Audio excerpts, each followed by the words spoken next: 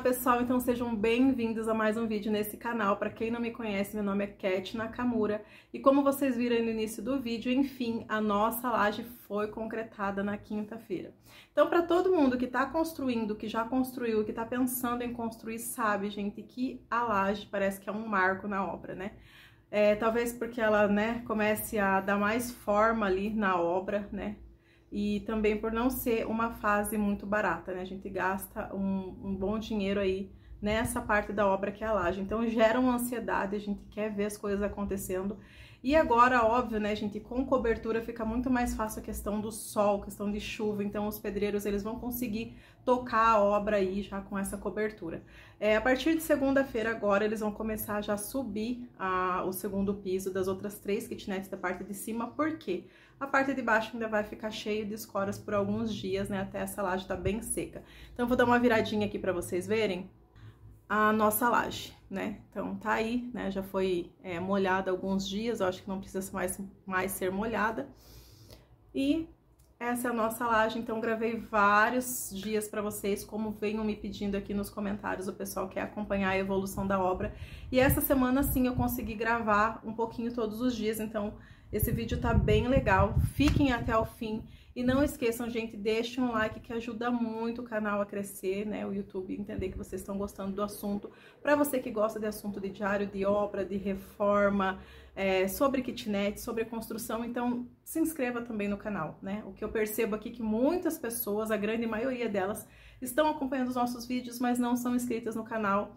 E, por favor, gente, se inscreva, não, você não vai pagar nada por isso, é rapidinho, você vai ali, aperta o botãozinho se inscrever e já ativa o sininho também para receber as notificações dos próximos vídeos.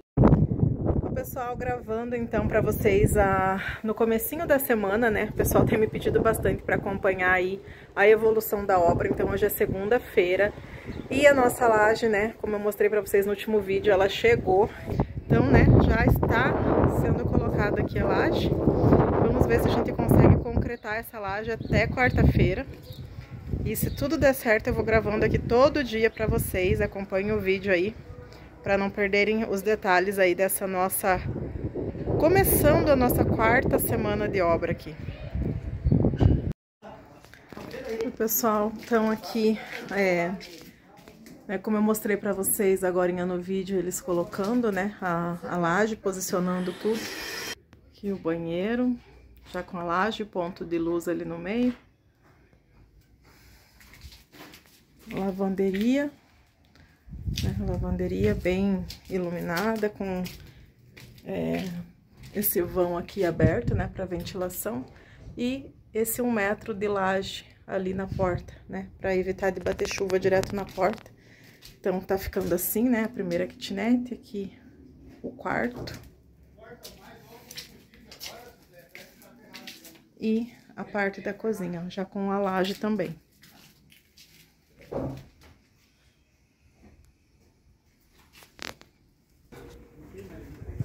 Não, não, não, é isso aí, é isso mesmo, é isso mesmo. É isso mesmo.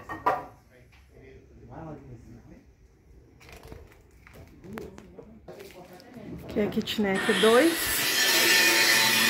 E dá-lhe barulho de obra. né, o banheirinho aqui também já coberto. o quarto da kitnet 2. E aqui fora, né, que é a lavanderia, que é a lavanderia grandona.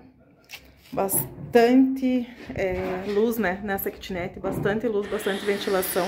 Aqui a nossa janelinha, né, pra quem não sabe, essa janela ela era virada pra garagem e a gente posicionou ela virada pro quarto, né, gente? Porque foi o jeito que a gente achou aí pra manter uma janela no banheiro. Então essa janela virada pro quarto. Não é das melhores situações, mas foi que a gente encontrou, já que aqui também tem bastante é, ventilação, né? A porta, a janela. Então, a janelinha ali no banheiro não vai ficar virada para o quarto, não vai ficar tão ruim assim. Em todas elas a gente já deixou os pontos, né? Que ponto de, da TV, da antena, Aqui essa outra tomada para mesinha de computador, ventilador, né, o que a pessoa precisar. Aqui, nessa posição, vai a cama, né, próximo da parede, então a gente deixou essa tomada aqui, que é perto da cabeceira da cama para pessoa colocar celular para carregar. Então, todas essas coisas a gente tem que ir pensando, né? Pra... Ah, e aqui o interruptor, né? Aqui a kitnet 3 também. Já colocaram ponto de luz ali na cozinha. Né? Esse canto aqui será onde vai ficar a cozinha, né? Lá no cantinho, fogão, 1,20m para pia. Ali a gente tem a tomadinha do micro-ondas. Aqui a tomada da geladeira. E vai ficar esse cantinho ali onde a gente deixou outra tomada também. Não sei, né? Pra pessoa colocar um ventilador ou uma, uma mesinha com um computador, uma coisa assim. E esse quarto aqui, gente tem um quarto bem grande. E aqui nessa kitnet, eu queria mostrar pra vocês que a gente é, acabou, ela acabou ficando um pouco melhor que a primeira lá da frente, porque como vocês veem, a gente é, deixou todas as portas na mesma direção. Então, a porta de entrada, a porta do quarto e a porta da lavanderia. Então, ficou perfeito, porque tem essa ventilação, né, e essa luz, a ventilação cruzada que eles falam. Então, ficou bem bom. Aqui também já com a laje. Aqui o banheiro, né? Provavelmente até quarta, quinta-feira a gente consiga concretar essa laje, eu acho. Aqui do mesmo jeitinho, ó. Deixa eu sair aqui pra vocês, mostrar pra vocês. Então aqui a lavanderia, né? Aqui o interruptor, dessa a gente deixou aqui atrás, interruptor pra acender aqui fora. A tomada da máquina lá no fundo né? Ali a, o ralo da lavanderia também.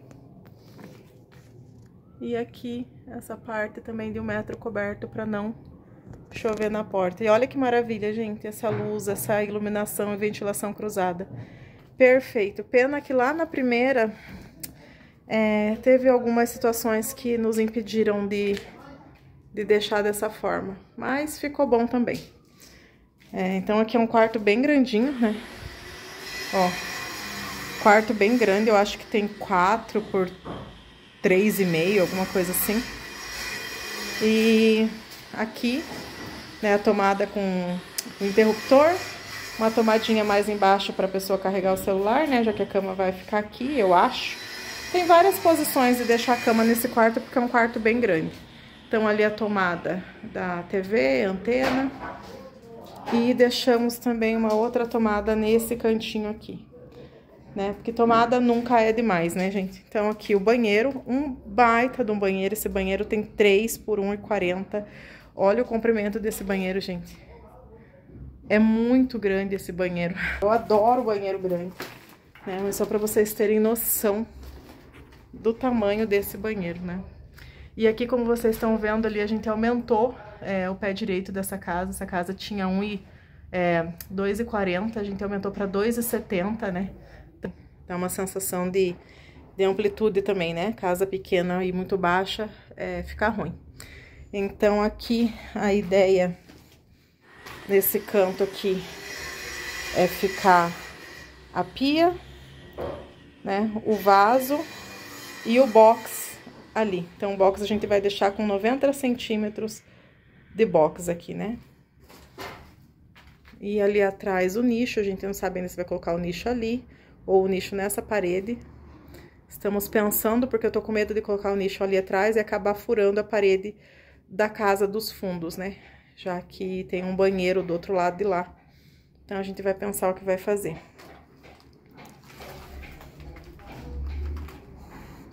Mas é isso, gente. Segunda-feira e a nossa obra começou com novidades, né? Que era a laje aí. Conforme as coisas forem acontecendo, eu vou continuar gravando pra vocês.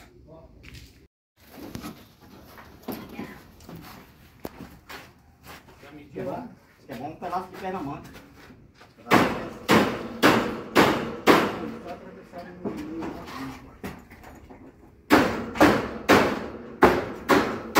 É quase, né, filha? quase na metade. ai, ai. Vai-se embora.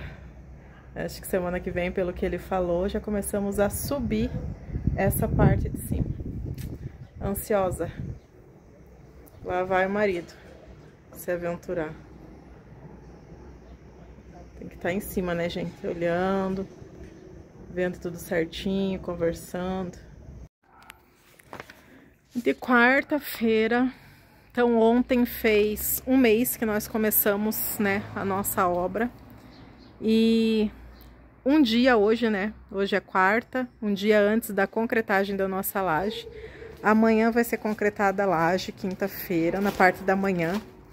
E eu não sei se eu vou estar presente. Eu queria muito tá para poder gravar esse momento, ficar registrado, né? Não só para colocar nos vídeos no, aqui no canal, mas para ficar registrado, né? A concretagem da laje é sempre um, um divisor aí, né? Na, na construção. Então aqui já tá anoitecendo, né, pessoal? Mas tá assim, ó. Todas as escoras já posicionadas, né? Aqui na kitnet 1. Eu vou ver se eu consigo é, estar aqui no momento da concretagem. Não sei se vai ser possível, mas qualquer coisa eu peço pro, é, pro pessoal aqui que tá trabalhando na obra gravar pra mim, né? Filmar alguma coisinha pra mim. Aqui a kitnet 2, né? Também com as escoras já todas posicionadas. Aqui o quarto. Ai, gente, bem ansiosa é um mês, né? Um mês aí de obra. É uma luta, né, gente? É uma luta, não é fácil, não. É, como eu falo pro meu marido, é matar um leão por dia. Mas vamos, vamos seguindo, né? Aqui é a kitnet 3. Também, que legal. Cheio de escora. Está assim, gente. E amanhã eu já gravo essa continuação para vocês aí. Está assim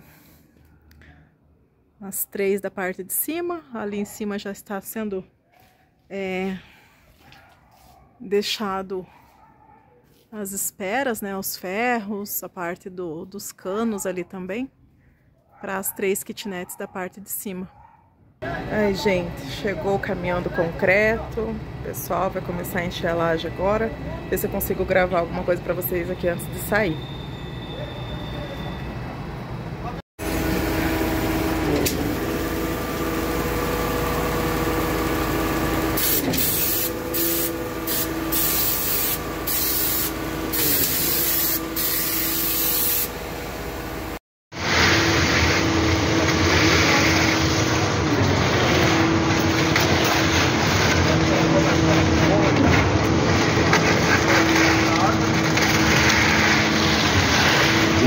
Aqui já tá cheio, parte do banheiro.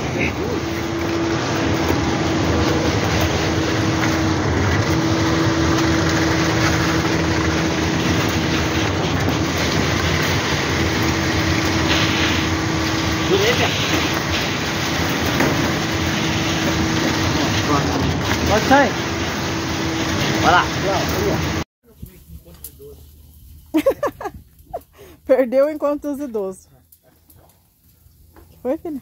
Ela falou que vai voltar 4 horas. É. Mas deixa um pedaço desse meio mal passado fiado. Isso aí deixa bem do ladinho lá que deve cair, tá chegando.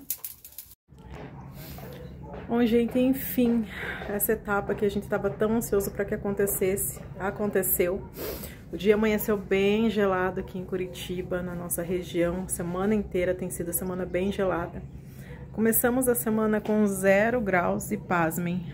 É, Sexta, sábado e domingo já vai bater 31 graus. Então é uma loucura viver nesse, nesse estado, né?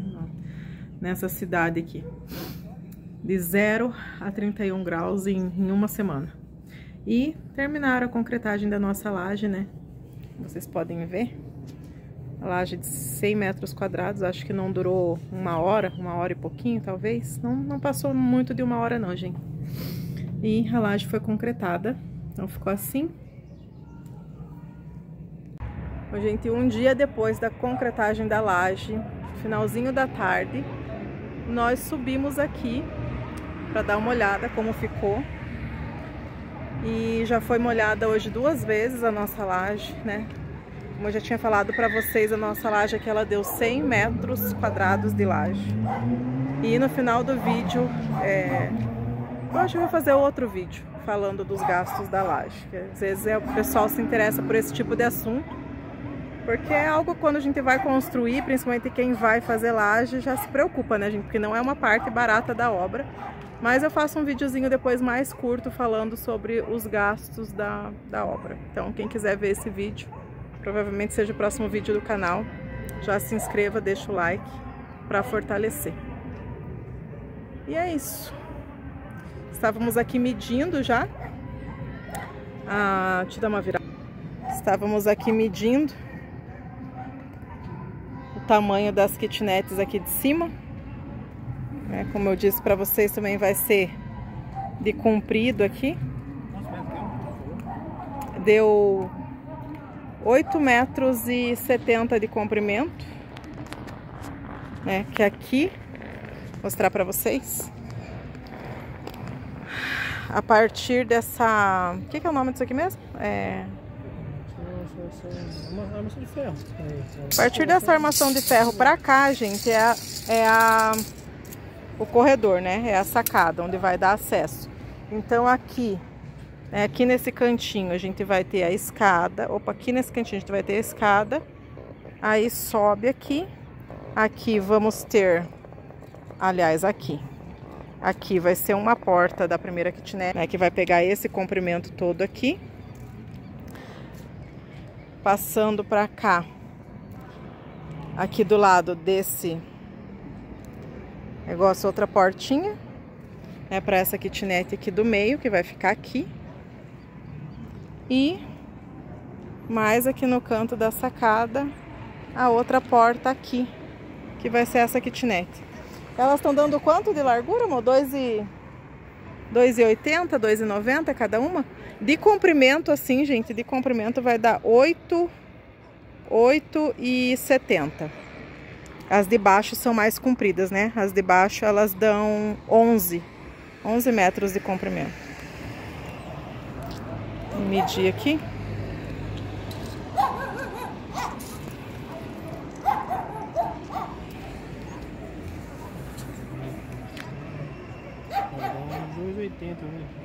Dois e oitenta, já tirando a parede, né?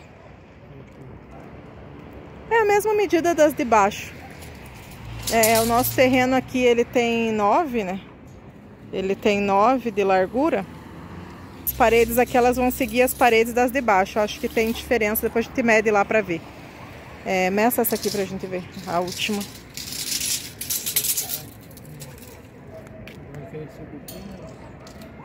A diferença é pouca, mas né, às vezes não... 2,80? Então 2,80 essa, 2,80 do canto, a do meio tá dando um pouco mais. Hum, então é isso. É isso, acabando o dia. Fala aí da emoção. Emoção de subir na laje. A emoção, gente, é... A emoção é ver o dinheiro, né? Indo embora, porque olha... É todo dia, né? Todo dia o pedreiro a gente até tenta fugir, mas não tem jeito. A hora que ele vê, ele já... Agora mesmo ele teve aqui, né? Porque eles não vieram hoje, né? A laje tem que secar. E aí ele teve aqui e já falou, né? Do material para segunda-feira. Um monte de tábua. E é isso que entristece na obra, né?